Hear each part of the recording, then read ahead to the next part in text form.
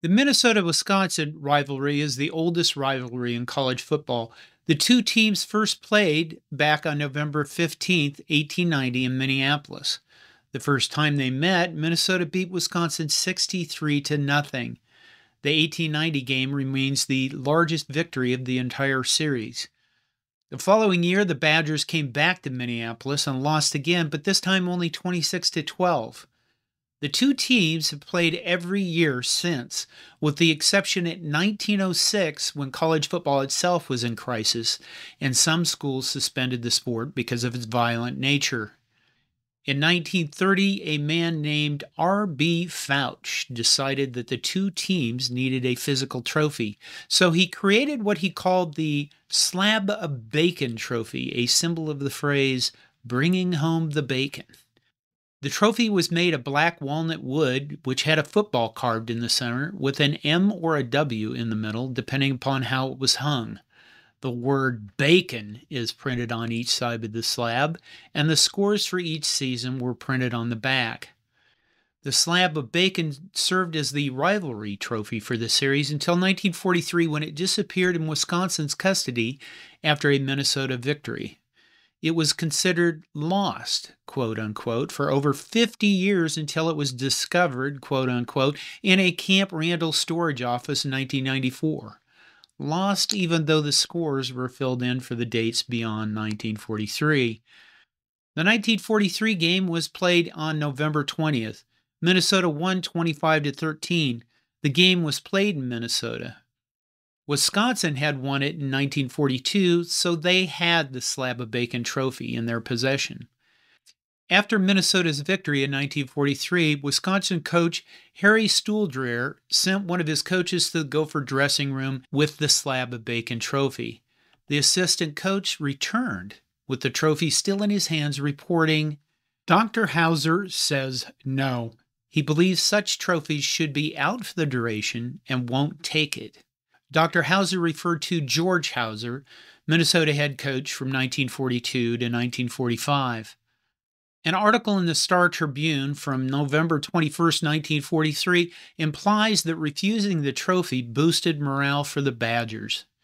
Not that that cast a paralyzing ray of sunshine in the Badger dressing quarters, but it did help and there was a gang of kids, rated seemingly hopeless underdogs, who had fought to such heights that assistant coach Guy Sundt unhesitatingly said, It was by far our best game of the season.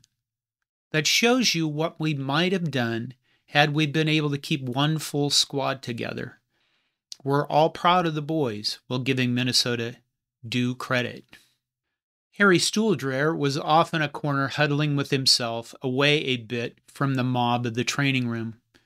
Yes, he nodded soberly, two weeks. That's all we've had a chance to practice as a unit. The game was played in November, yet Wisconsin's head coach said they've only been together for two weeks. Why? The United States was in the midst of World War II in 1943. The war had been going on for almost two years, and it involved every aspect of American life, including college football. Some schools had suspended their teams. Some schools played rosters full of 4Fs, 4Fs being men not fit for military service, but other schools had plenty of players to put on their rosters because they were involved in military training, particularly for the Navy and the Marines, so those schools weren't depleted of athletes at all. All of this led to an incredible imbalance of football. So, why did Hauser refuse the trophy? There are indications Minnesota had refused the trophy because of what happened earlier in the season between Minnesota and Michigan. In 1943, Michigan had a huge amount of talent because players were there for military training. Michigan was part of the V 12 Navy College Training Program. Participants were required to stay in shape. To stay in shape, they could choose between being involved in Navy fitness classes or play football for the Wolverines. Minnesota, on the other hand, was depleted. Head coach and legend Bernie Bierman had joined the war effort in 1942 and wouldn't return until 1945. Bill Daley, who played for Minnesota from 1940 to 42, was now playing for Michigan. Daley had won two national championships at Minnesota in 1940 and 41, and he'd beaten Michigan all three years. Wisconsin player Elroy Hirsch, known as Crazy Legs Hirsch, had earned first team All American honors as a halfback in 1942. He was part of the Navy training program, so he played for Michigan in 1943. Minnesota lost the 43 game to Michigan 49 to 6 with Hirsch scoring 3 touchdowns including a 61-yard run on the first play of the game. Daley scored two touchdowns in what was the most one sided victory in the series at that time. Daley ended up playing in only six games that season because of Navy reassignment. He rushed for 817 yards, fourth in the nation in rushing yardage, and was named an All American and finished seventh in Heisman Trophy voting. Now, Minnesota hadn't lost to Michigan since 1932. The teams had tied in 1933, but Minnesota had won the Little Brown Jug in 1934, and they'd kept it ever since. Over that period, the Gophers had won five national titles 1934, 35, 36, and 1940 and 1941. Minnesota was a juggernaut throughout the 1930s. Michigan's coach in 1943 was a man named Fritz Crisler when Michigan beat Minnesota 49 to 6, many people were upset that Crisler accepted the Little Brown Jug, the rivalry trophy between Minnesota and Michigan. The game was in Ann Arbor, but Minnesota hadn't brought the Little Brown Jug with them. It had to be shipped later. There was a fair amount of controversy, and Fritz Crisler was raked over the coals for having accepted the trophy under unfair circumstances due to the imbalance that had been created by World War II. The criticism apparently didn't bother Crisler too much, as the Wolverines were proud to display the little brown jug at their end of year athletic banquet.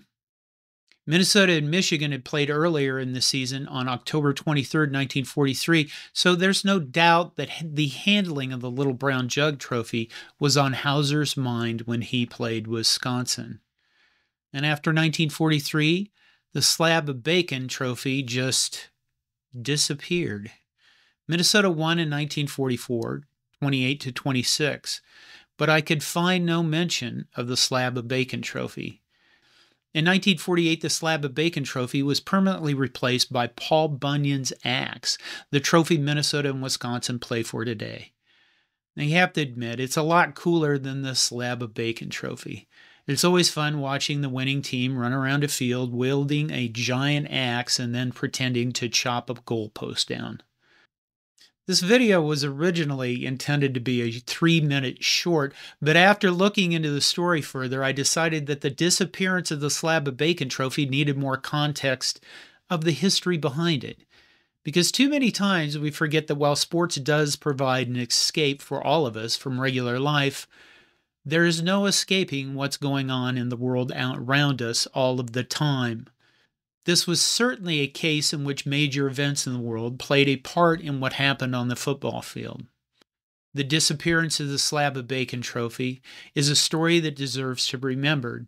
And That's what we're here for. I'm John Johnston, and this is Hardcore College Football History. Thank you.